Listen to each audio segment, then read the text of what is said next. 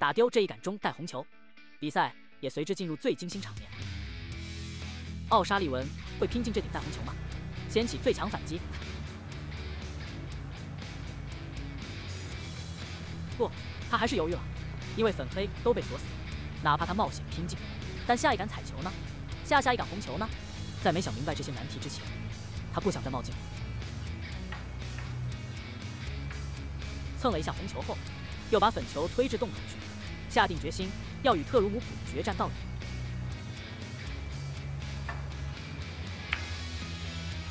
你不急，我何必着急呢？他反手就把耐克本来被自己 K 过的红球，重新推回左侧边库去，与火老师比拼耐心。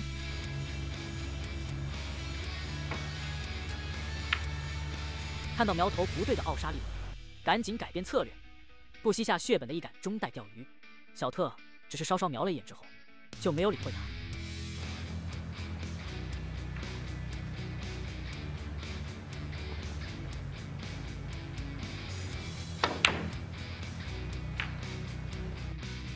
奥沙利文马上用这秀气无比的一杆后斯诺克，不仅又把一颗红球激活了，而且这杆防守还做得很不错。这下子轮到小特头疼了，该如何防呢？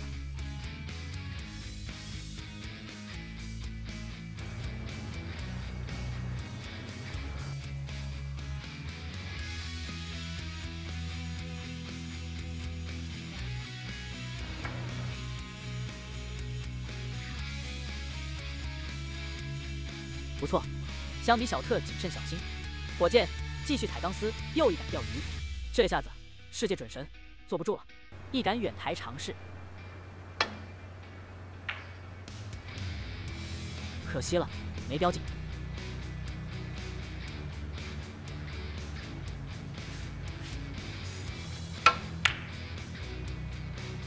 但奥沙利文同样没续上火力，还再次送出顶带机会球。这下子。小特不能再客气了，现在是他一杆制胜的好时机啊！球进的真脆是吧？而且可以看看篮球了。中带篮球过渡一下，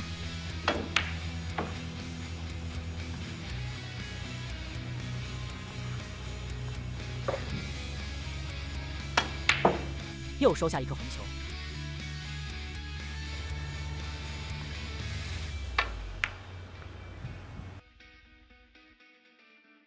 只要拿下这中带红球，再多收一颗彩球，他就能妥妥超分了。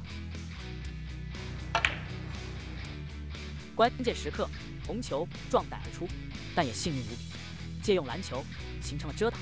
奥沙利文还是没有上手机会，给了很强左边的旋转啊。嗯，会不会露出来？罗老师这一杆防守。到底有没有问题？小特仔细瞄了又瞄，击打红球没问题，可要从红球左侧加点角度，想直接搏进顶带的话，篮球又造就了干扰。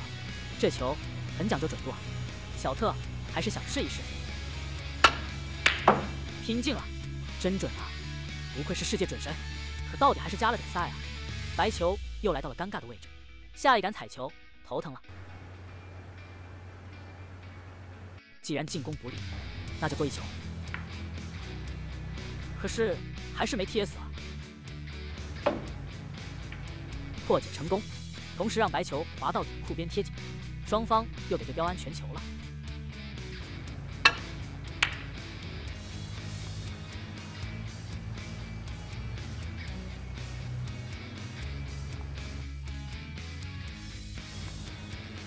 领先了三十三分，台面还有三十五分。不过，论攻防能力的全面性，还是奥沙利文更胜一筹，率先抢得这一杆斯诺克开路。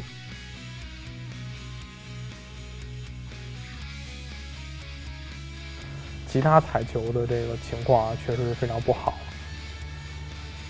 小特勾底库蹭到红球，完美破解。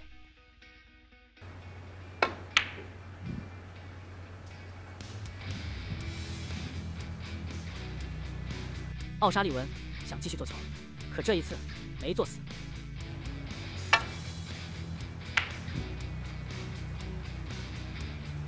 小特也想反做一杆，但没想到把自个的右侧底带卖了。奥沙利文进攻机会，可是没打进啊！运气不错，不仅没漏球，还用袋口的粉球形成一杆后斯诺。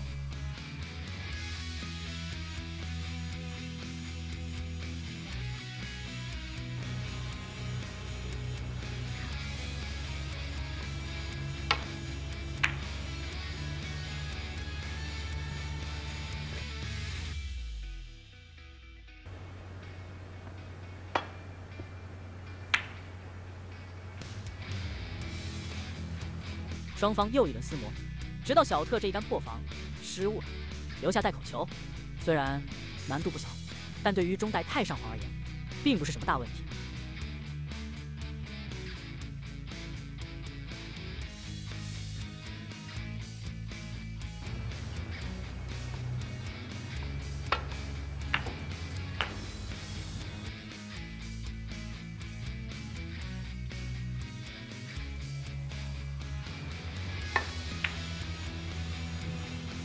围绕黄球，双方展开了最惊艳的一次博弈。打进就可以超分啊！对，哎，还是表示了充分的尊重啊，没有去拼。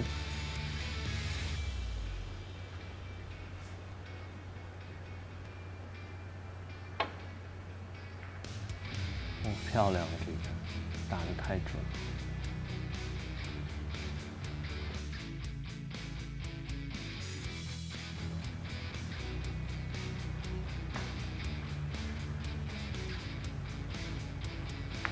漂亮，小特勾顶贴球破解，这哥俩在赛场上你一杆我一杆，玩的不亦乐乎。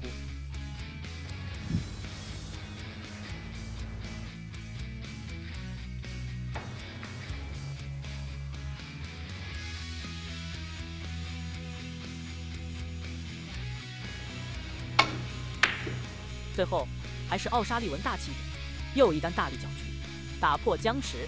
围绕着黄球，双方一番精彩追逐后，小特的这一记翻带，差点就惊艳终结比赛。嗯，只是可惜了，黄球死死悬停袋口前，送奥沙利文好时机。是个难点。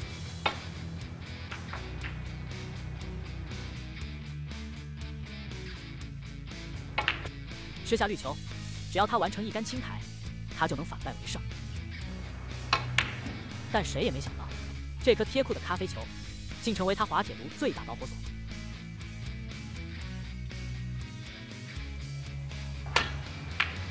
收下超分的咖啡球，小特也不再客气了。可一个不小心，又给自个做上了，他只能继续解球。这 triumphal，我来奋斗一下肯定还是正常的啊，这这个没有什么争议。而奥沙利文本想利用粉球遮挡，做一球，却没想到摔进袋口去。小特顺势趁机又收下篮球，一杆清台，总算终结了跌宕起伏的第一局。